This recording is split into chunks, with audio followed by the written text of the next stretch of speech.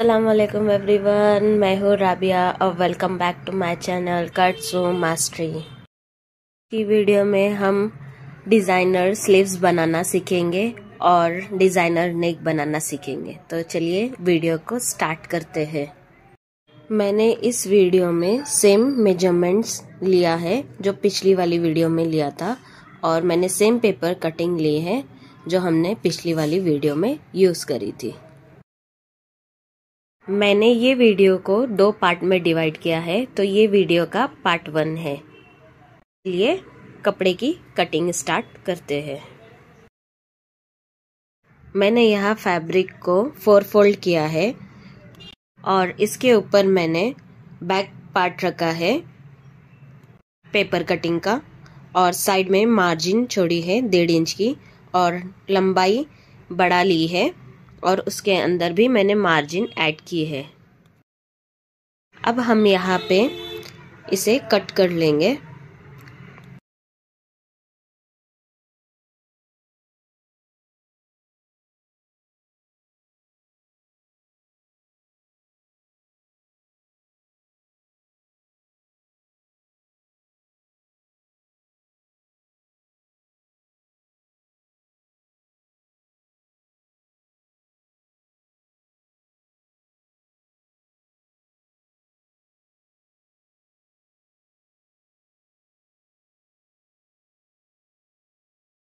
Fabric cut करने के बाद मैंने इसमें से एक पार्ट अलग कर दिया बैक वाला। अब मैंने फ्रंट पार्ट लिया है, इसमें का एक पीस और उसे प्लेस आउट करके फ्रंट वाला शेप दे दिया है।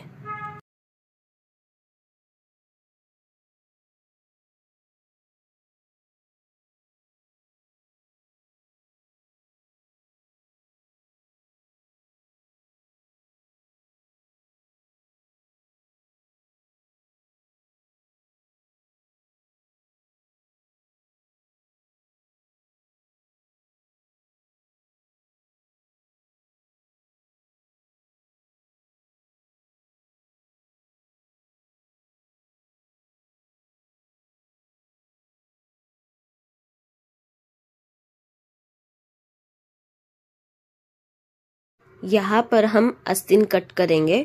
मैंने पहले वाली जो अस्तिन कट करी थी सेम वही मैंने यहाँ पर ली है। हम इसमें इसकी लंबाई बढ़ाएँगे अस्तिन की और इसे ही प्लेस आउट करके इसी की मदद से कट करेंगे। तो यहाँ पे मैंने ड्राइंग पेपर लिया है। ड्राइंग पेपर को दो फोल्ड किया है और यहाँ पे मैंने अस्तिन रख दी है। इसी अस्तिन को हम यहाँ पे ट्रेस आउट करेंगे। यहाँ पे मैंने लंबाई नौ इंच कर दी है, उसमें एक इंच एक्स्ट्रा बढ़ा लिया है मार्जिन के वास्ते। और उसी के अकॉर्डिंग यहाँ पे नीचे की तरफ़ मैंने गोलाई ली है। गोलाई का हाफ़ करके उसके अंदर भी मैंने मार्जिन ऐड की है। मैंने यहाँ पे कटिंग कर ली है। कटिंग करने के बाद अब हम इसे ओपन करेंगे। ओपन करने के बाद सेंटर में एक लाइन ड्रॉ करेंगे। लाइन ड्रॉ करने के बाद अब हम इसे हाफ़ में फोल्ड करेंगे। हाफ़ फोल्ड करने के बाद हम और एक एक फोल्ड करेंगे बिल्कुल इस तरीके से। और फिर हम हाफ़ वाले सेशन के साइड एक इंच एक्स्ट्रा लेके और जहाँ पे हमने हाफ़ फोल्ड, यानी फोर फोल्ड किया था हमारा, वहाँ पे हम इसे कफ शेप की मदद से ड्रॉ करेंगे, फ्रेंच कफ की मदद से। जो हमने कर्व लाइन ड्रॉ करी है, वहाँ पे हम डेढ़ डेढ़ इंच का निशान लगाएँगे। आप चाहो तो वन इंच का भी निशान लगा सकते हो। अगेन हम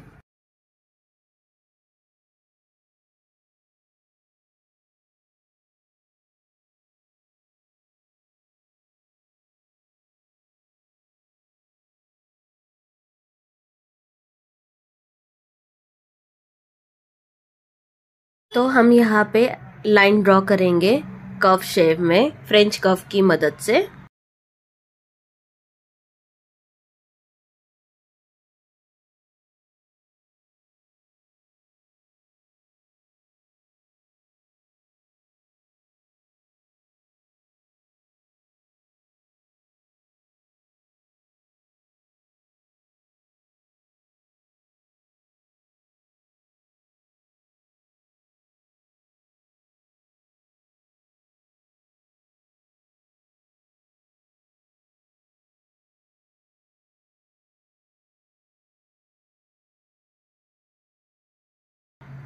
यहाँ पे हमारी लाइन एंड हो गई है सीम अलाउंस के साइड पे।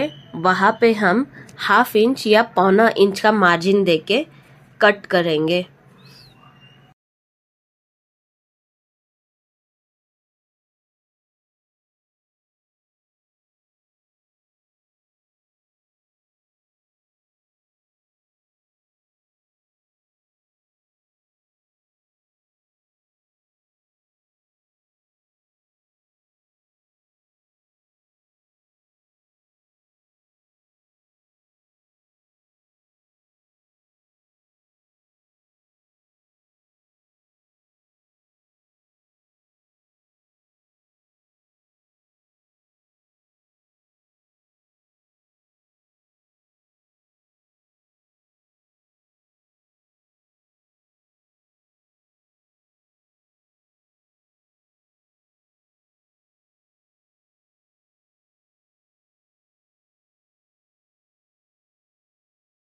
बिल्कुल इसी तरह से हम कटिंग करेंगे।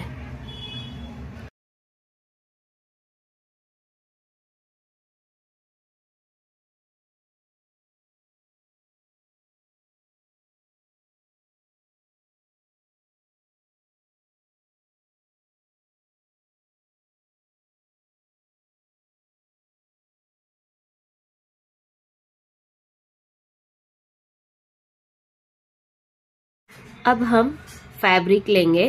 फैब्रिक को हम ओपन करेंगे। इसके ऊपर हमारी कटिंग रखेंगे। कटिंग रखने के बाद अब हम इसमें बीच बीच में गैप छोड़ेंगे और पिनअप की मदद से इसे सेट करेंगे।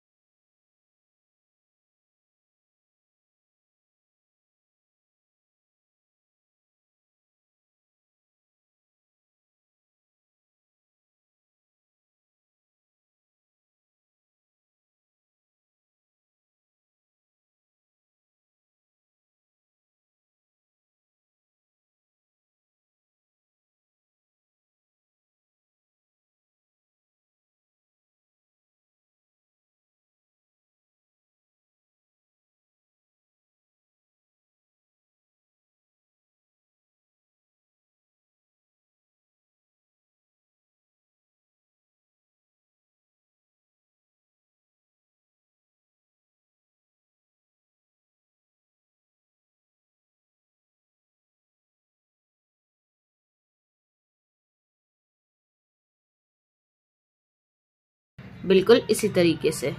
और फिर सेटअप करने के बाद हम इसकी कटिंग कर लेंगे।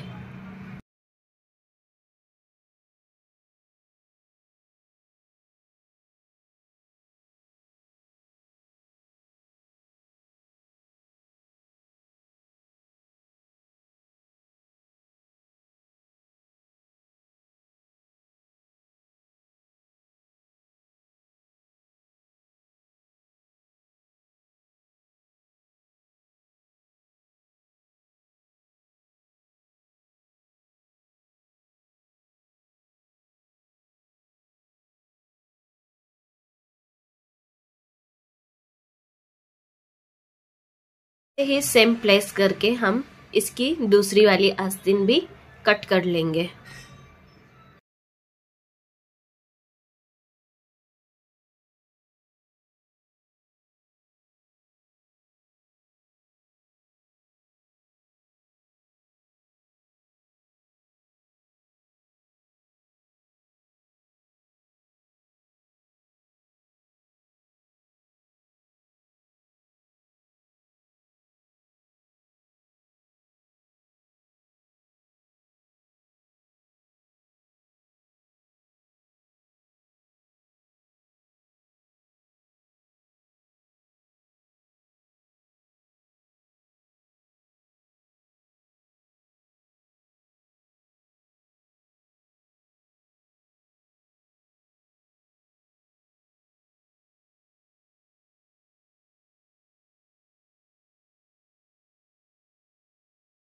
Thank you so much to joining me in this video. I hope